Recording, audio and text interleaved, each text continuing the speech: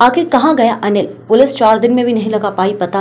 गुस्सा परिजनों, ग्रामीणों ने घेरा एसपी ऑफ़िस कोतवाली थाने पर किया प्रदर्शन। खबर श्योपुर से है, जहाँ करहल निवासी जड़ी बूटी के व्यापारी अनिल ओझा का श्योपुर शहर से अचानक गायब हो जाना एक रहस्य बनता जा रहा है। शहर के बीचों बीच हुई सनसनीखेज घटना पर जहाँ एक परिजन और ग्रामीण इस बात को लेकर चिंतित हैं कि चार दिन बीत जाने पर भी आखिरकार अनिल का कोई सुराग क्यों नहीं लग पा रहा है? तो वहीं दूसरी ओर पुलिस इस हाई प्रोफ़ाइल मामले में कछुए की चाल चलती दिखाई दे रही है। पुलिस किसी युवक के इस तरह गायब हो जाने की घटना को गंभीरता से नहीं ले रही है। वहीं आज गुस्साए ग्रामीण सबसे पहले तो करहल थाने पहुँचे, जहाँ उन्होंने टीआई से इस मामले को लेकर चर्चा की और कुछ ज़रूरी जानकारी भी टीआई को उपलब्ध करवाई। चूँकि घटनाक्रम श्योपुर थाना क्षेत्र का होने के चलते सभी परिजन, ग्रामीण और नेतागण कोतवाली थाने पहुँचे कोतवाली पुलिस द्वारा बढ़ती जा रही ढील और लापरवाही को लेकर जमकर नारेबाजी की और विरोध प्रदर्शन किया। साथ ही एसपी ऑफ़िस पहुंचकर अभिषेक आनंद से मिले कि जल्द से जल्द इस मामले का खुलासा कर अनिल ओझा को सकुशल वापस लाएँ। साथ ही वही पुलिस अधीक्षक ने भी परिजनों को आश्वासन दिया कि हम इस मामले में जल्द ही साइबर और नया टेक्निकल माध्यम की मदद से जल्द से जल्द खुलासा कर देंगे। देखिए, श्योपुर से संवाददाता अमित कुमार श्रीवास्तव की रिपोर्ट। अंतर्गत एक व्यक्ति था बालिक था 18 साल से अधिक उम्र की, वो श्योपुर किसी अपने रिश्तेदार के पास आया था और उसके बाद फिर रिश्तेदार के पास से जो है वो एक व्यक्ति शोरूम था हमारा यहीं कोतवाली थाना क्षेत्र में। उसके एजेंसी का बोल करके उसके बाद फिर चला गया। उसके बाद वापस नहीं आया। तो उसके बाद फिर ये 16 तारीख को पुलिस को रिपोर्ट प्राप्त हुई। इसमें गुमशुदगी दर्ज दर्ज की गई है। इसमें गुमशुदगी दर्ज करने का जो भी ये टेक्निकल एनालिसिस है, उसके बेसिस पे जो है वो प्रयास किया जा रहा है। इसमें, और उम्मीद है जल्द से जल्द हमको सफलता मिलेगी। जो पालक लोग आए थे आपने क्या आश्वासन दिया हाँ इसमें उनका उनको जो परिवारजन थे उनका बोलना था कि इसमें जो है जल्द से जल्द जो है इसमें पुलिस की तरफ़ से प्रयास देखे तो बिल्कुल उनको आश्वासन दिया गया इसमें। अपन जो है साइबर और अन्य जो जो भी मदद है उसकी मदद से अपन जल्द से एसपी साहब से हमने मतलब निवेदन किया कि आप चाहेंगे मतलब पुलिस के हाथ बहुत लंबे होते हैं। पंद्रह तारीख की मतलब घटना है आज चार दिन हो गए पूरा घर मतलब बेहोश पड़ा है। और ये माना कि ताजिया भी महत्वपूर्ण होते हैं और उनकी भी देखभाल मतलब व्यवस्था करनी होती है, लेकिन ये काम भी कोई ऐसा नहीं था कि साहब आप कल मतलब कुछ नहीं कर पाए दिन दहाड़े अगर इस तरह की घटना घटती है तो मतलब व्यवसायी वर्ग मतलब सुरक्षित थोड़ी है। और चार दिन तक कोई मतलब सुराग नहीं मतलब मतलब लगना तो आगे मतलब व्यवसायी वर्ग कैसे क्षेत्र में जाएगा, कैसे काम करेगा, ये सब विचारणी प्रश्न है। इन सभी बातों को लेके एसपी साहब से मतलब निवेदन मतलब किया है।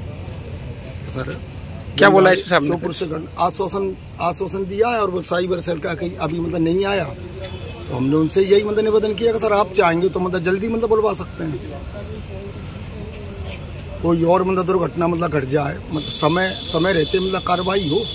यही आपसे मैंने कहा मतलब निवेदन है। आश्वासन दिया, आप क्या करते हैं? ये कल सामने आएगा, आज सामने आएगा। अभी तक पूरे सी सीसीटीवी कैमरों की मतलब फुटेज नहीं देखी गई।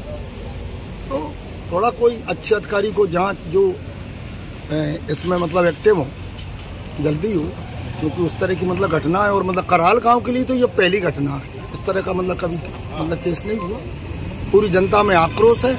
ऐसा नहीं हो कि जनता पर ये आक्रोश इतना मतलब बढ़ जाए और आंदोलन धरना घेराव वगैरह पर मतलब उतारू। यही मतलब निवेदन हाँ। हाँ बोलो। हम ये समस्या लेके आए हैं। मेरा भतीजा है, वो पंद्रह तारीख से का है। पुल दरवाज़ा श्योपुर से। ये हीरो होंडा की एजेंसी पे अपनी गाड़ी ठीक कराने के लिए बोल के आया। और आया भी है, वहाँ तक उसके सीसीटीवी कैमरा में दिख रहा है। फिर रोड पे ऑटो में बैठा जब से उसका कोई सुराग नहीं है, कोई पता नहीं है, और चार दिन हो गए। हमारे घर पे बहुत बेकार हाल है, पूरी महिलाएँ बेहोश पड़ी हैं, और तबीयत ख़राब है। कलेक्टर साहब ने कही आज मैं इसको शाम तक अपडेट लेके बताता हूँ। अभी तक क्या कार्रवाई हुई।